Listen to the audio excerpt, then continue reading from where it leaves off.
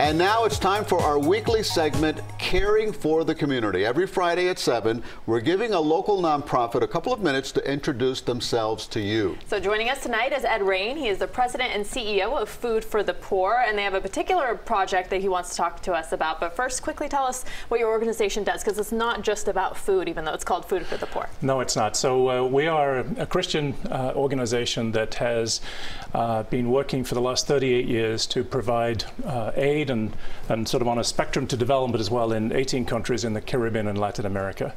Uh, we actually, through the generosity of our donors, have been able to provide almost $15 billion of aid in that time. So, uh, but uh, you know, really our, our, focus now is making sure that uh, we can help the people who need the greatest help. We serve the poorest of the poor in these communities uh, where there is no safety net at all. Um, without us, I mean, it sounds very dramatic to say, but without us, they often don't live. I mean, they, they, they need us for their food on a day-to-day -day basis, and of course, they need to think to, we need to help them with things like shelter. So we've built 85,000 homes.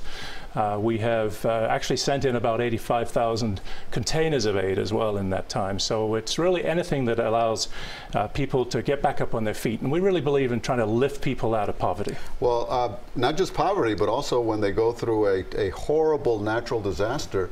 It's been what, five, six months since Hurricane Dorian devastated parts of the Bahamas, and you have been focused on the Bahamas. Tell us about the work you've done there. Well, you know, it's interesting. We hadn't been there before because we didn't think there were lots of poor people, but uh, this, uh, the devastation created poverty. So uh, we've actually visited uh, on several occasions with the government. Uh, we've been partnering with uh, the Mission Resolve Foundation in Fort Lauderdale. We've also been working with the churches, so really every denomination, trying to figure out how best we can help. So the types of help have been putting water systems in, and we put four of those in, large-scale water systems to help communities.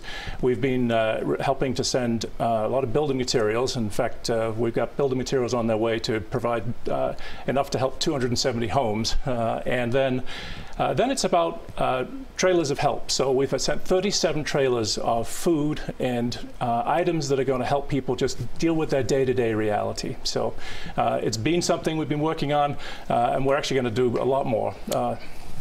Ed Raine, thank you very much. We put the uh, website information on the screen, and hopefully people will reach out. I know you've been in the community a long time and doing great work. Well, thank you so Thanks much for, the visit. Thank, thank, you, very much. Thank you for coming. CBS 4 News at 7 continues in just a minute.